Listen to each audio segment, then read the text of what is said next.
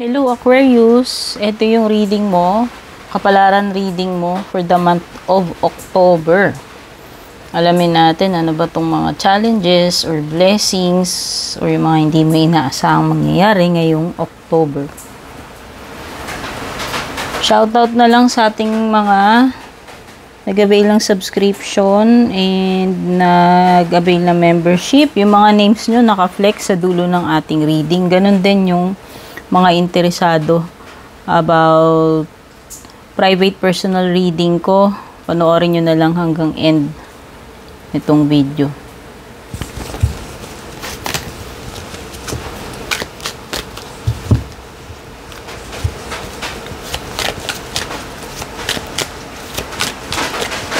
Sensya nyo na guys, biglang umuulan dito eh. Makakarinig kayo ng mga patak-patak sa background. So weird, mainit pero umuulan. For your overall energy ngayong month ng October, meron ka 7 of Pents. Tapos yung magiging challenge mo naman, you have King of Swords. For your advantage naman or blessing, kuha tayo ng isang card. Wait lang, nagpos ako guys. Gulo ng ulan eh. Biglang lalakas sa titigil. Kuha tayo isang card ng ano, kung anong magiging blessing mo ngayong October or advantage. Meron ka 4 of Cups. Tapos sa what's next, or near future mo, meron ka ditong page of Pence. So, base dito sa iyong 7 of Pence, ibig sabihin you will invest you will invest on something or you will you will invest your time wisely. Mm-mm. Nakikita ko dito na ano, kumbaga magiging wise ka sa mga bagay na gagawin mo. Mas pipiliin mo yung mga bagay na meron kang um, positive output. Oh, mas mas ano, mas mama-maximize mo yung time mo, mas productive ka. And nakikita ko rin kasi dito, maaring yung mga sacrifices na ginawa mo in the past. Eh, ayan, yung mga past na ininvest mo, eh magbubunga. Kasi ayan oh, harvest time itong card na ito. So, etong October may mga anihin ka. Kung ano man yung mga pinagkaabalahan mo na itong mga nakaraan. So, ibig sabihin lang, tama yung naging investment mo. Naging wise ka sa iyong time. Ibig sabihin, um, hindi na sayang, hindi na sayang yung oras mo. And maganda yung mga results na pwede mong makuha dito sa iyong mga investments, no? Pagdating naman sa iyong challenge, meron ka ditong um, King of Swords. So, dito, dahil napunta siya doon sa challenge mo, siguro yung pinaka tinutukoy niyan eh, wag kang masyadong maging rigid sa iyong mga pag-iisip. Or, pwede ngang tinutukoy nito, huwag kang gumawa ng mga decisions based on ano yung mga assumptions mo. Yung mga aka-akala yan. Kumbaga huwag kang maging too quick to judge the situation or too quick to judge a person siguro. Yun yung yun yung kasi meron kang you have a tendency na baka maging padalos-dalos ka sa pagde-decide, yun na nga yung parang um, hindi mo pa proven, inaano parang akala mo pa lang, parang namu, meron mga namumuo na kagad na mga um, haka-haka or assumptions. Ina-assume mo na agad na ganito ganyan, yan. Yan yung yan siguro yung pinaka magiging issue sa iyo ngayong October or yung dapat mong i-avoid diyan sa challenge mo. Or another thing, pwedeng masyado kang maging ano, hard to please or masyadong meticulous, masyadong mataas yung standards, yan. Pwedeng, pwedeng yun din yung isang maging um, challenge para sa'yo or ano, problem.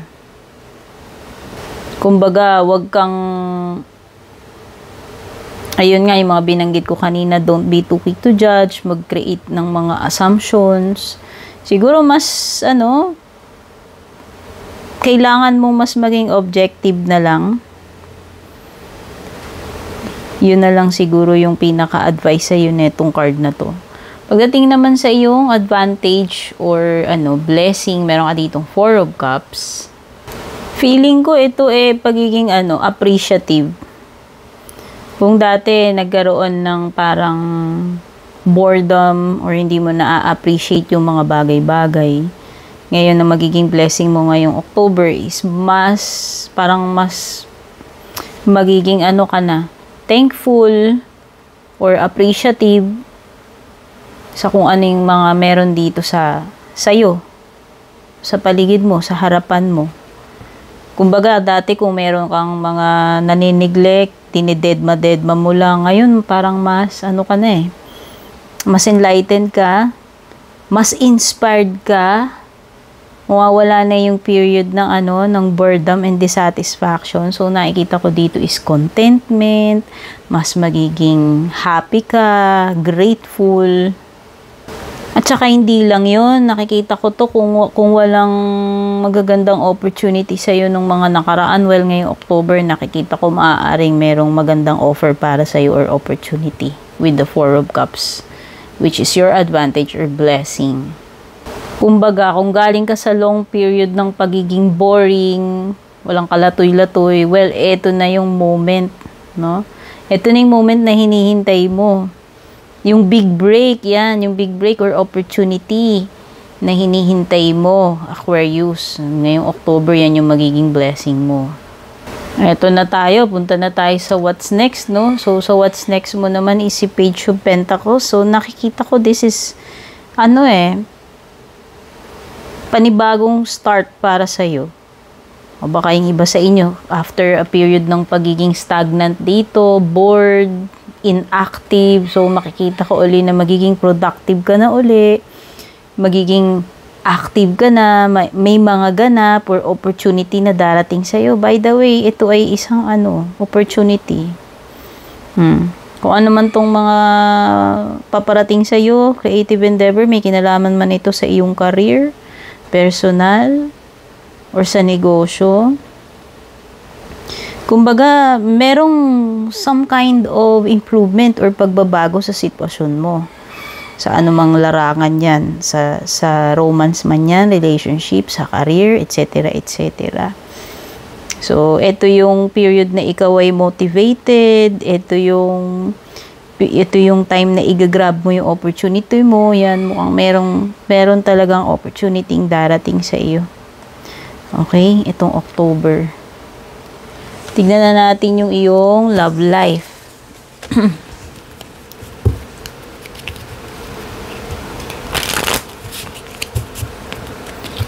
ano ang update about your love life ngayong ano ay ano ba yan? Wait lang. May nahulog. May mga nahulog pala.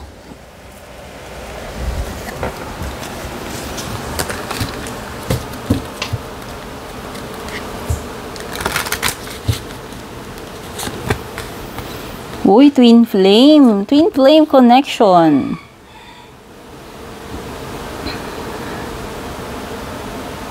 Sabi dito, oh, pwede kang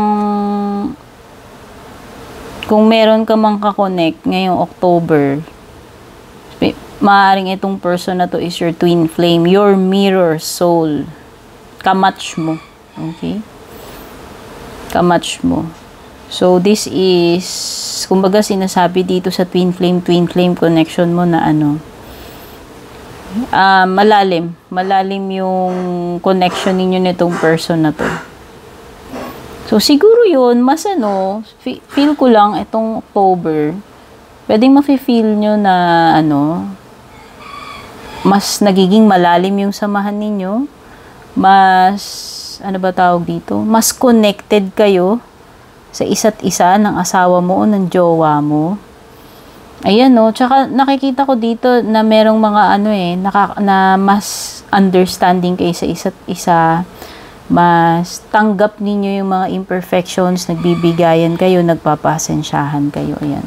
Meron mang mga shadows dito, ibig sabihin yung mga imperfections, eh, ano ninyo yun? Kumbaga, nat, matatanggap ninyo or magkakaroon ng ano ng magkakaroon kumbaga magiging mas maunawa mapasensya kayo sa isa't isa. So yun na nga nakikita ko mas deep yung bonding ninyo, yung ano, yung closeness ninyo, yung connection ninyo ni ni person mo.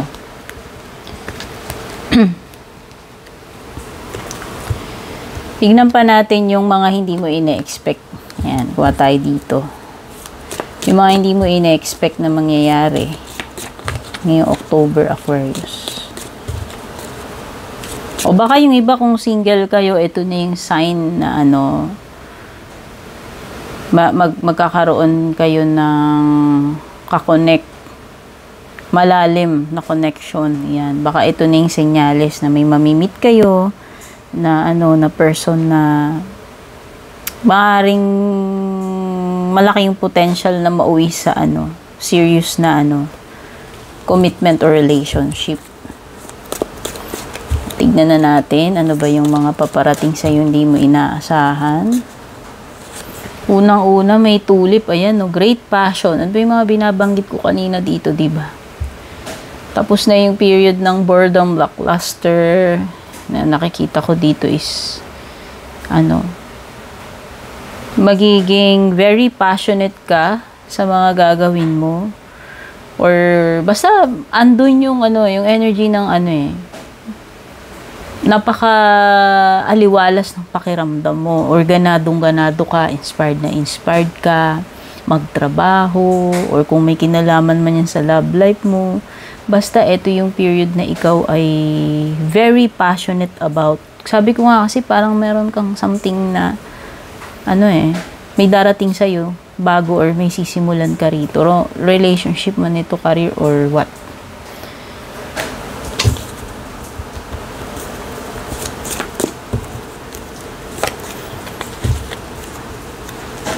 Kumbaga, hindi mo ina-expect na ano, magiging ganadong-ganado ka dito or magiging seryoso ka dito talaga. Kumbaga, you are, ano, im very immersed or invested, magiging very immersed or invested ka rito sa kung ano may tinutukoy ng tulip. Ano pa? Hindi mo yun expect na darating. May mga changes, ayan. Hindi hmm, ba ano, sabi ko kanina, may improvement, may changes, ito na yon So, binaback upan na itong card na to na may mga pagbabago na hindi ko masabi ha, kung pa, yung iba positive or baka yung iba negative, hindi ko alam. Pero, yun na nga, Ihanda mo na lang sarili mo sa anumang pagbabago na meron kasi mukhang hindi mo inaasahan pero may darating. Hard work, oo nga. O, yung iba dito, magiging very busy na kayo. Hindi nyo ina-expect. O, kaya nga sabi ko, may trabaho ka man wala, mas magiging buhos na yung oras mo eh. Yung passion mo, yung oras mo pagdating dyan sa pagkakaabalahan mo, meron at meron kang pagkakabisihan. Meron at meron kang tututukan, which is work. Ayan. And mukhang hard work, ibig sabihin, maraming trabaho kailangan gawin. No? Or maaaring maging challenging, mahirap, bisibisihan, at hindi mo ina-expect na merong encounter with a younger woman. Oh, dealings or relationship with the younger woman, romantic man ito or hindi. Para sa iyong mga closing messages naman, Aquarius, or mga payo sa iyo ng oracle cards, tingnan na natin. Unang-una, there is something better. Wow, something better talaga paparating sa'yo.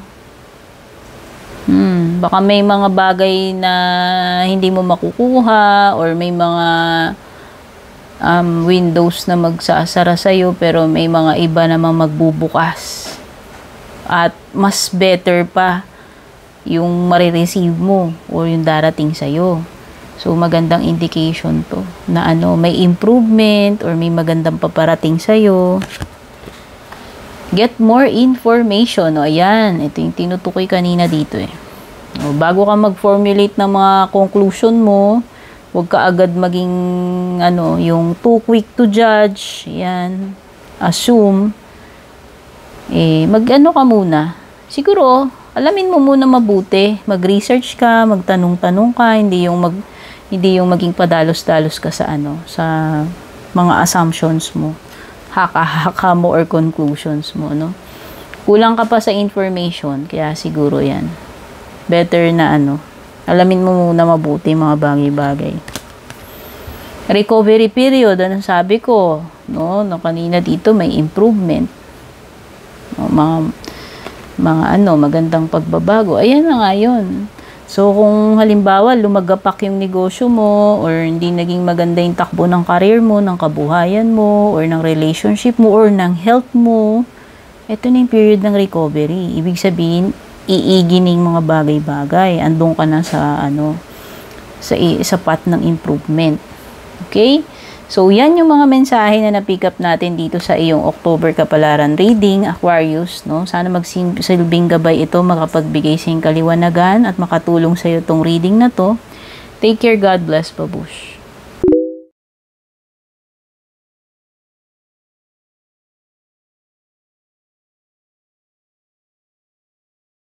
And kung balak nyo pong mag-book or mag-inquire ng personal readings ko, basahin nyo lamang po itong nakasulat sa screen or yung nakalagay sa description. Shout out at thank you sa ating mga YouTube channel members Juliet Saito, Vel, Mildred, Julian, Alejandra, Maya 2.6, Michael, Rosel, Belen, Melinda, Jane, Devi, Joy, Gwen, De Luna. Shoutout and thank you rin sa ating mga FB page subscribers, Alicia, Aida, Jovel, May, Ann, Jennifer, Jane, Aida, Aluwap, Emilu, Melinda, Grizel, at ang pinakabago si Shay Santos.